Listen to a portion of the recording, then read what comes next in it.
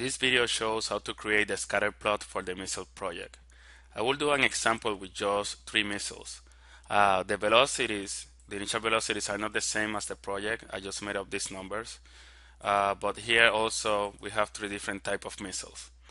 In this column, I will put uh, the time column.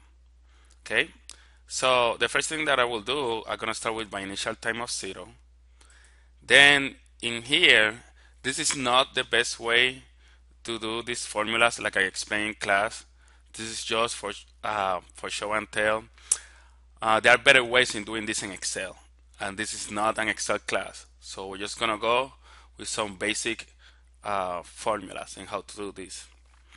So I'm gonna begin my formula with equal, and the formula I gave in class is minus 16 times and then I will click on the cell where I have my time. That's the reference for the time. So that will be time square. Then to that I add the times times the velocity. So in this case uh, I just want to type the velocity. I don't want to uh, I don't need to explain what absolute reference are but that will be the best way to do it in Excel you can see me in class if you want to learn how to do this. So that will be the time. And then the constant is the square root of 2 over 2. So I'm going to open parentheses. I'm going to type sqrt, that will be square root of 2, and then that divided by 2. And then the initial height, which in our case, as you guys uh, figure out in class, is 0 and then I will type enter and that will give me my time okay? So one thing that I will do I just going to copy this formula. So I'm going to right click and I'm just going to copy this. Uh, press escape okay? Press so pressing escape will take me out. And then I'm going to double click in the second formula and then I'm going to paste okay? The only thing that I need to change is the velocity. So the 970 becomes a 705 press enter again. And then I will come in the second formula. Uh, press space. And then the 7 the 970 becomes an 800 okay? So now I just change the velocity for all of them. Okay? So you can see here initial height is zero. And then I'm going to um, go in my intervals. So I'm just going to go second by second. So below to the zero for time, I'm going to type a one. And then I'm going to highlight the cells where my formulas are. Place my cursor in the lower right corner. Then I'm going to press the left click and hold it and drag one row down. There you go. So now I got values. And now what I need to do is just do this across time. So I'm going to highlight everything, scroll all the way down.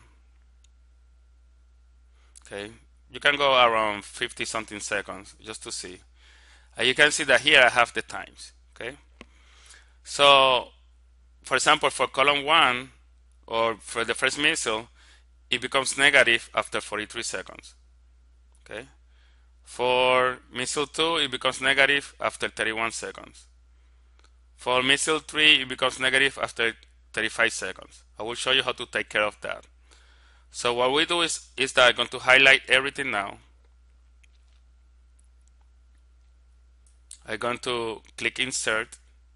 I'm going to go into my charts drop down arrow and then I'm going to click scatter. Okay